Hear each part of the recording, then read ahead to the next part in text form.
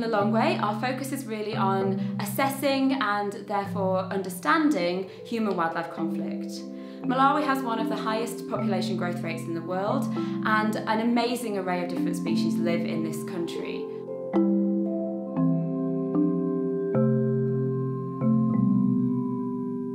And so we're looking at trying to understand how the animals can live around the people and vice versa so that both can be successful in this area.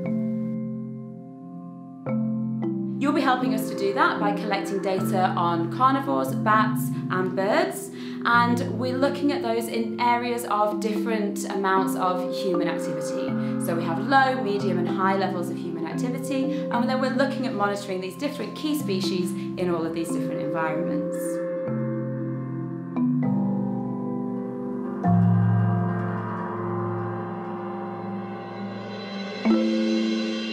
Here with Opwall in Malawi, students will get to work with researchers like myself um, collecting primary data on all kinds of animals. We do bats, birds, small mammals. That's all really interesting because nobody else is doing this work and a lot of this data just isn't out there. These are animals that are pretty understudied.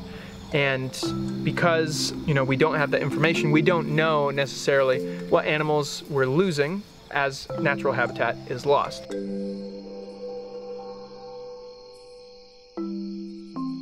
Here in Malawi, students will learn how to use harp traps, mist nets, and conduct vegetation surveys as part of our biodiversity monitoring program. That data will be gathered in sites ranging from really high disturbance, gardens, that kind of thing, to really low disturbance. We have several sanctuaries within the city limits.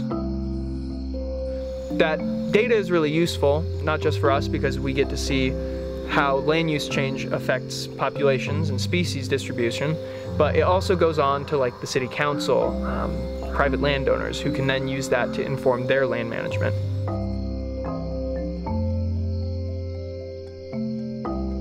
So in addition to our research, in Lilongwe we also do a lot of outreach work, you know, and that ranges from education to human-wildlife conflict mitigation.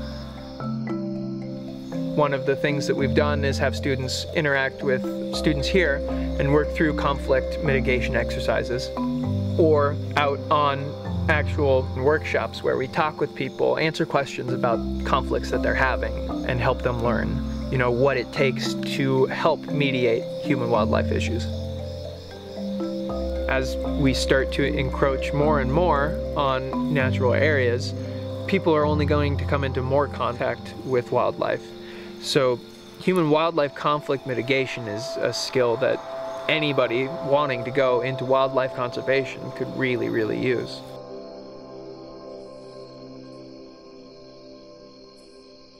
So after the students leave us here in Lilongwe, they travel up to Nkhata Bay to conduct the aquatic part of their research.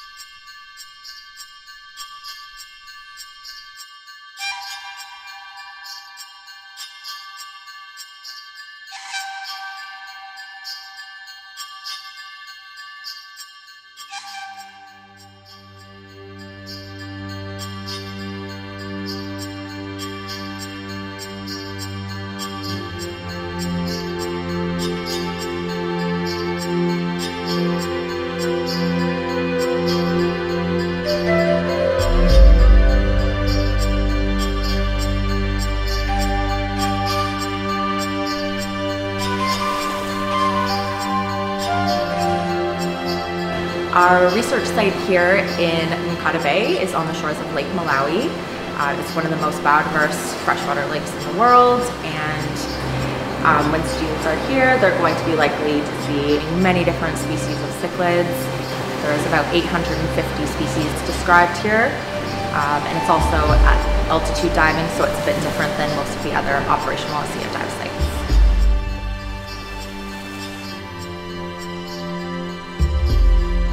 So when students arrive on site here, they can either complete their full PADI open water dive training course, or if they're already qualified or would prefer to snorkel, they can complete our Lake Malawi ecology course.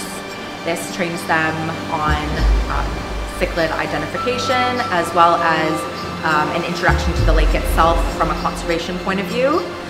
What's also really exciting about this site is we have access to a remote operated vehicle, which allows us to survey depths that the divers cannot get to.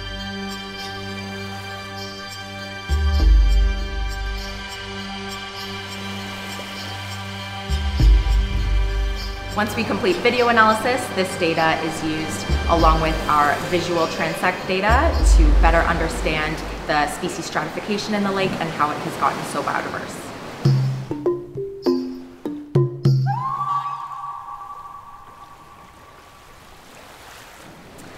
After the students have finished their research on Lake Malawi, they then have the opportunity to travel to Liwonde National Park for a more relaxed experience uh, where they get to see a true range of the wildlife that Malawi has to offer.